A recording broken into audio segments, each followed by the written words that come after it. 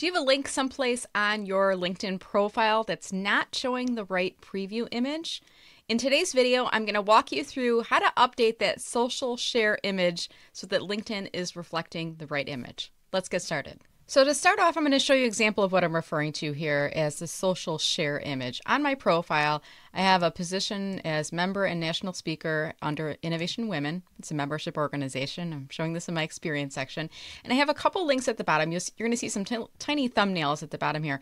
Now, at a quick glance, I can tell that the bottom thumbnail, it's the wrong picture of me, which means it's not pulling in the right picture from that page. So the right cached image isn't being pulled in. So here's what you need to do to change up that process. So what you want to do is you want to pull up two web pages. The first is the web page that is reflecting that image. So in this case, I'm pulling up my Innovation Women Speaker Profile web page. You can see here, my headshot photo is a little bit different. I'm wearing a different color top, so that's why I know it's a different cached image that it should be pulling in. So that's the first thing, the web page where you want it to be pointing to. The second thing is you need to load up this page. It's called the LinkedIn Post Inspector. Okay. And you can see here there's a box on the page that says enter a URL to see how it's shared on LinkedIn. Now, the interesting thing here is that LinkedIn is a site that's very unique compared to some of the other social media sites in that when it is displaying a web page image, it's displaying the image as it appears today. And if you were to go back in a week, a month, a year, and you change out the social share image on the website, LinkedIn is not going to reflect that in the image itself. So you have to actually go back to the post inspector page, plug in the URL, and click on inspect, and then it should update accurately. So let's do this now. I'm going to copy the URL for my speaker profile page on Innovation Women. I'm putting it into the enter a URL box. So I use Control C for copy and Control V for paste, little shortcut there. And then once I've pasted it inside there, I'm going to click on inspect. It's going to cycle through for just a second or two here. And then you're going to see that LinkedIn is going to pull out and it's going to say, when this link is shared, the content will look like this. And now the new image is displaying with my new headshot photo. Now to check this out, I'm going to go back to my LinkedIn profile. So I'm back on my profile here and I don't see it reflected here yet. If that's the case, I want you to keep in mind that LinkedIn's like a ketchup bottle sometimes. You need to give it a whack. And we do that in the form of just doing a web page refresh. So in this case, I'm going to go up to the URL address bar at the top, and you see that little circular arrow it's like a circle with an arrow on it. it says reload this page. Click on that symbol. That's like the effective whacking of the ketchup bottle so linkedin knows that we've made a change. And then scroll down to that section again and we should see an updated image reflected there.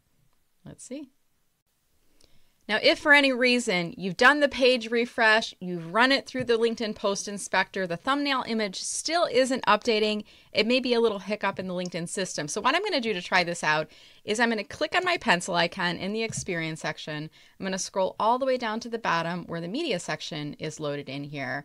And what I'm going to do is I'm actually going to add in another instance of this page. You know, the interesting thing by doing this video, I realized what I had done here. When I first added in the media link, it wasn't displaying the page in the way I wanted it to. So let me just show you what it will display if I add this link in. I'm going to go ahead and paste that and click on add. Now LinkedIn will pull in whatever it can find from that web page. So in this instance, it's just showing my profile photo and it's pulling in information from that Speaker Innovation Women website, which is really just the top information from the page. When I first loaded this in, I said, that kind of looks funny. And this is actually exactly reflective of what you're seeing inside the post inspector. So I'm going to click on apply just so you can see the difference here. So it's showing my headshot photo. And what I was hoping to show instead was what my speaker friend my speaker innovation women page looks like. So what I had done in this instance is I had done a hard screen capture. In the case that your social share image isn't reflecting what you'd like it to be, you can do a little bit of a workaround here. I'm going to click on print screen right now. And then I'm just going to grab a snippet of the web page itself, maybe even a bit more showing the video in there. Now I've, that I've got that snippet of the page that's been captured, what I can do is go back in and I'm going to correct the original one. I'm going to click on the pencil icon here and you're going to see here this is actually an image. It's not a link pointing to the web page. So I'm going to click on the pencil icon and now what I'm going to do is I'm going to go to my photo gallery where that was saved. I'm going to open and pull in that new cached image that's reflected in here. I'm also going to grab the website link for the speaker.innovation women webpage and I'm going to paste it inside the description field. Now when I click on apply and I click on save, you're going to see the difference here. So in this instance, the first image is showing the speak the so- social share image from the website with the information. It's not really what I want to reflect there. I really want to show them my speaker profile on Innovation Women. Now, you certainly could do a little bit of a workaround if you want to keep that photo link inside there. And what you would need to do in that instance is just click on the pencil icon for that. You can actually manually change the thumbnail to be whatever you want it to be. It doesn't have to be what it's being pulled in from the social share image. And then you can actually go inside the link here and you can put a description of the link. And then you can even say, book Brenda. Let me just reflect this again. Book Brenda as a speaker for your event. So you can change the title, you can change the description, and you can even change the thumbnail.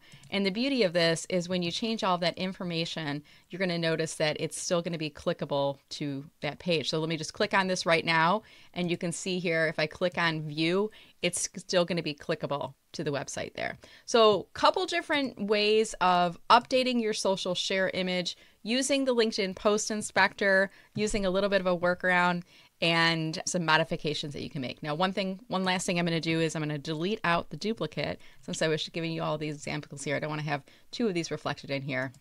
I'm going to click out that last one, delete that out, so I only have one instance of my speaker page that's sorted in that section. So there we have it. I was actually starting this video by showing how to use the post inspector, but I think this worked out pretty well because now I've given you a couple different options on how to display different types of links in media section of your LinkedIn profile and your experience section if the social share image isn't reflecting exactly what you're looking for. Hey, I hope you found this video helpful. If you're watching this on YouTube, I'd love it if you could give me a comment below. Let me know, know if you did find this helpful and also subscribe to my channel and click on that bell notification so you get notified for all videos like these in the future. Thanks for watching, and I look forward to seeing you on LinkedIn.